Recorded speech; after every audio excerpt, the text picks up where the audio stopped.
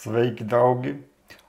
Vēlos pastāstīt jums par mūsu pamata produktu komplektu Coral Detox, kurš principā ir ikviena cilvēka ikdienas neatņemama sastāvdaļa, vismaz tā vajadzētu būt, jo tajā ietilpst visi nepieciešamie produkti organisma labai uzturēšanai. Ja? Un alkohola detoks programmu parasti um, sāk ik viens cilvēks um, uh, attīrīt organismu, kur, kuri ir atnākuši uh, sakārtot savu veselību. Ja? Un kola detoks ir viens no uh, pamata produktiem, programmām, ar kuriem ir jāsāk organisms attīrīt. Ja? Un pamata uzdevums kola detoks ir izvadīt no organisma ūdenī šķīstošos un taukos šķīstošos toksīnus. Ja? Uh, jo 80% mums ir uh, ūdenī šķīstošie toksīni un 20% ir taukos šķīstošie toksīni. Un šodien uh, un, uh, vēlos pastāstīt um, par um,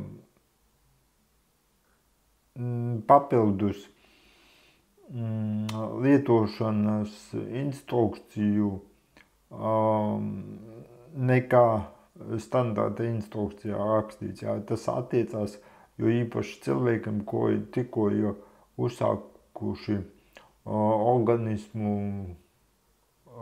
attīrīt un atjaunot. Jā. Un kā lielākai daļai parasti ir problēmas ar asinsspiedienu pazeminātu, ja paaugstinātu, tas nav svarīgi. Ja jo mēs piesārņojam savu organismu katru dienu, gan ēdot, gan ēdot, dzerot, elpojot, uzņemam caur ādu visādus toksīnus un, un tā tālāk. Ja. Un arī ieskaitot toksīnus, kuri rodās organisma iekšienē no šūnas ikdienas dzīves. Ja? Jo mūsu šūnas, tā, tāpat kā mēs paši, katru dienu ēd, dzer, čurā un kakā. Ja? Lūk. Un pirmais produkts, tas ir koralmaini, ja? ūdens. Um, koralmaini lietošanas um, piezīmes principā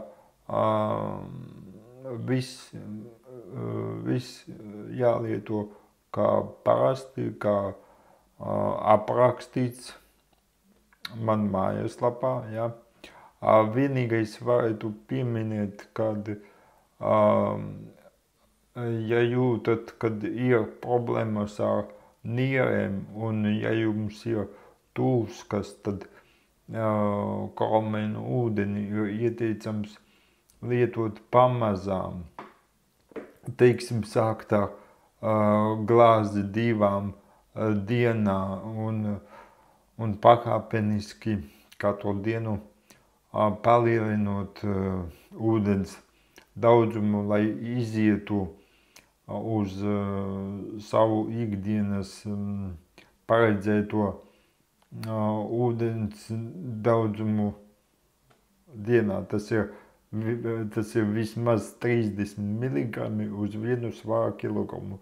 Ja cilvēks svēr, teiksim, 50, 50 mm, kilogramus, tad viņam ir jāizdzer dienu naktī pusotras uh, litras ūdens. Ja? Lūk, Un, ja ar nierēm nav viss, viss kārtībā, tad sākam pamazām, un jo īpaši labi dzert ūdeni ik pēc katras toaletes apmeklējuma, kad nieres ir izvadījušas urīnu, ja, lūk, jā, un mm, tad arī padzāmis, tas attiecās principā uz ikvienu cilvēku, gan kuram ir problēmas ar nieriem, gan kuram nav nier, problēmas ar nieriem, ja. Tam tā jau jābūt. Tā, tālāk H500 lietojam tieši tāpat, kā instrukcijā rakstīts. Vienu kapsulu no rīta pieberam pie koralmeņa ūdens, ja, pie silta ūdens, ko no rīta dzersim. Un otru kapsulu izdzeram vakarā, var teikt, uzreiz pirms gulēt iešanas. Ja? Uzreiz pirms gulēt iešanas ieteicams izdzert H500, jo, lai mēs paspētu aizmigt. Ja? Jo, jo pretējā gadījumā H500 var sākt iedarboties un mums nu, parādīsies enerģija un miegs vienkārši aiz, aizies. Ja? Ko dara H500? Kurš izdzirds panakti. Ja? H500 panakti atjauno mūsu organisma resursus, ja? var teikt, restartē viņus vislabākajā nozīmē. Ja? Lūk, un mm, trešais produkts, tad koralamain un H500 mums um, šajā gadījumā izvada ūdeni šķīstošos toksīnus. Ja? Bet tagad parunāsim par uh, diviem pārējiem produktiem, kuri uh, izvada tauku šķīstošos toksīnus. Un pirmais ir asimilators, kas ir augu izcelsmes fermenti, kuri, uh, kuri atšķirībā no dzīvnieku fermentiem nenomāc mūsu pašu organisma fermentatīvo sistēmu, jā. Mūsu fermentatīvā sistēma darbojas joprojām, jā. Jeb arī, nu, viss jāatjauno, ja kaut kas nav kārtībā, bet um, skatoties uz pieredzi, uh, un uh, to, ka, kā mēs ikdienā, uh, mūsdienās ēdam, tad mūsu ferment, fermentatīvā sistēma, diemžēl, netiek galā ar savu uzdevumu, ja, un bieži vien um, um, uh, mūsu pašu fermenti ir, nu, teiksim, tā, novājinātā stāvoklī. Tātad cilvēkam, ko ir tikko uzsākuši attīrīt organismu, ja, ja vienkārši jau problēmas ar paaugstināto, jeb pazemināto asinsspiedienu, ieteicams no rīta, kamēr, kamēr mēs dzeram siltu koraļu, ūdeni ar H500, tikmēr pa to stāpu mēs varam izdzert vienu jeb divas kapsulas asimilatoru. Ja? Varam mm, izdzert gan kapsulas veidā, gan, gan iebērt atsevišķā um, ūdens glāzē. Ja? Garša ir neitrāla Līdz ar to to problēmām nevajadzētu būt. Lūk, bez kapsulām asimilators iedarbosies daudz ātrāk un labāk. Ja? Tad tukšā, tukšā dūšā iedzerti fermenti mums pirmkārt apstrādās iepriekšējā dienā neapstrādāto pārtiku, un otrkārt asimilators tīrīs un šķīdinās asinis, ja, kuras, kuras mums ir biezas, ja, dēļ piesārņojuma un tam līdzīgi, ja, jo, mm, kā, kā parasti, ja asinis ir biezas, tad tajās ir neapstrādātas pārtikas molekulas, ko savukārt asimilators tīra no organisma šīs neapstrādātās molekulas. Viņš visu sašķeļ un, un tādā veidā asinis kļūst sārmainākas, tīrākas un tekošākas. Un, un varu pieminēt vēl, ja ja cilvēkam ir mm, paaugstinās asinsspiediens, tad, tad ko var izdarīt, ja, tāda neliela recepte.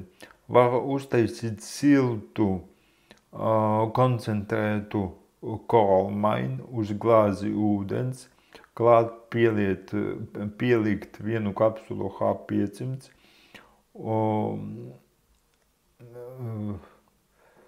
un, un klāt, kā jau minēju, iedzert arī asimilatoru. Un papildus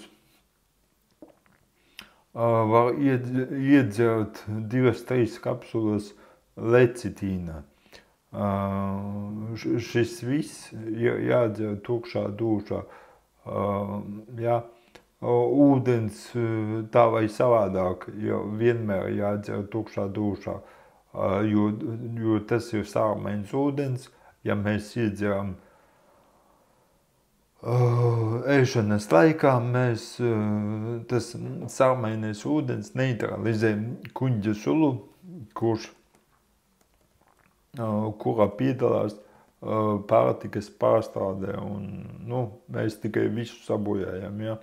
Uh, ūdens, principā, jādzer tikai un vienīgi tukšā dušā. Un, un jebkas cits arī, nu, kā likums. Ja, ja cilvēkam um, gribās mm, ēšanas laikā uh, kaut ko dzert, tad, tad tā jau vienkārši pazīmē, kad organisms ir atūdeņojies un viņam trūkst ūdens tas viss Tādēļ ik pēc, tādēļ ik pirms katras ēdiena reizes vismaz pusstundu, 20 minūtes pirms izdzeram glāzi divas ūdens un tad tikai ēdam. Un arī, un arī bieži vien cilvēki jauc izsalkumu ar ūdens nepieciešamību. Ja? Tas, to jau svarīgi atcerēties.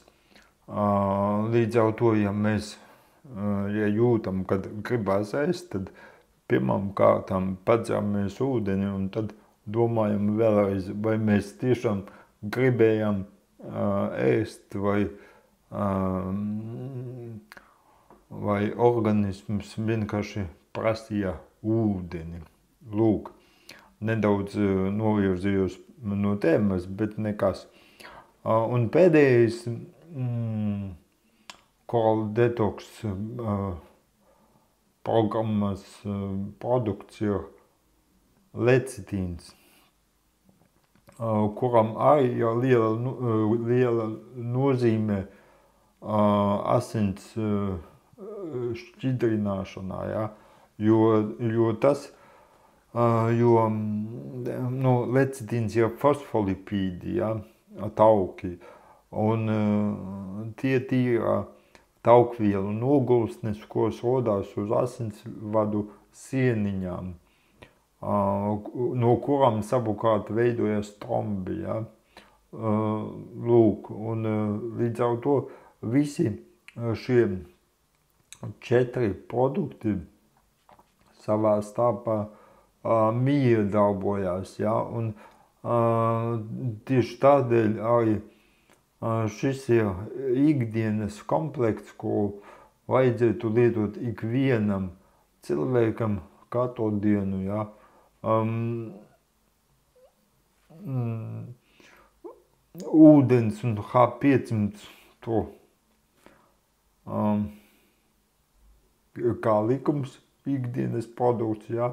jo bez ūdens uh, mūsu organismā itin nekas uh, nenotiek un bez ūdens uh, uh, dzeršanas uh, nevar būt nekādas runas par organismu attīrīšanu, ja, jo tikai ūdens spēj izvadīt visas šlakvielas no organisma laukā. Un, uh, pieminēšu vēl tādu lietu, kad um, bieži vien cilvēkiem uh, nepatīk um, vārds, jeb frāze dzert ūdeni, jā, pliku uh, ūdeni, jā. Bet uh, jāsaprot tas, kad uh, mēs principā uh, mazgājam savu organismu no rīta, un tas, uh, tas attiecās jo īpaši no rīta, jā. No rīta mums visiem ir jādzer, jāizdzer tukšā dušā vismaz 640 mg ūdens. Tas ir kaut ko trīs glāzes ūdens, piemēram, plus mīnus. Ja? Lūk, un mēs tādā veidā mazgājam sevi no iekšpuses, ūdens visus organismu procesus pamodina, iedarbina jaunai dienai un tam līdzīgi, ja? un dod mums enerģiju. Tas attiecas uz koralmainu ūdeni, jo um, dzīves ūdens dod mums enerģiju, mieris ūdens atņem mums enerģiju. Ja? Tas atkal nedaudz, um, nedaudz no tēmas novirzījus.